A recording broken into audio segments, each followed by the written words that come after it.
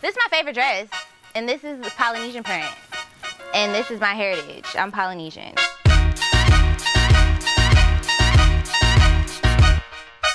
My nickname is Kiki, for one. My brother always would tease me and be like, just play little jokes like in a joking manner, like, why, Kiki? My dad bought me a sewing machine when I was 12, but I just never used it until I was like 15. So, like, pretty much that's why I am who I am because they took notice of what my interests were. Most of my stuff is like bright, vibrant colors and fun, graceful, it's sexy, it's classy, it's everything you want it to be. I make clothes for everybody. It's gonna be real extra. I'm real, I'm a real extra person, so I wanna go all the way. And the fact that trap art is giving us no like no limitations with this show, like I could be free to be myself and do whatever I wanna do. And that's exactly what y'all gonna get.